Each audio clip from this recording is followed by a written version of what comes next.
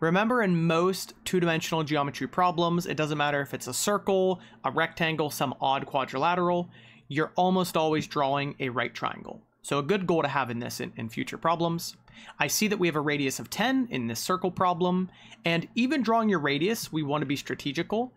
I've seen some people draw it this way, but you always want to try to connect it to points that are significant, right? So I would always try to draw it to either this point or this point as well. You could draw to both. Um, but for now, we have this radius that's 10. And again, if you remember, I was just talking about right triangles. This could be a hypotenuse. So we also have this x distance here from 4 to 20. So I know that total distance between my endpoints is 16. So if my HK, if this is the center of my circle and it's the center of these two endpoints, correct? Well, I could draw a line down the middle. This is kind of like drawing an altitude. This is another thing that we have to do in a lot of these geometry triangle problems.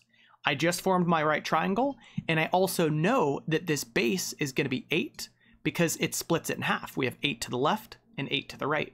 Now finally, you could do Pythagorean's theorem to calculate this third side, or you could just remember one of your most basic triangles, and that is your 3, 4, 5. So if you ever have two of these three numbers in a triangle, remember that multiples count too. So I could also see a 6, an 8, and a 10.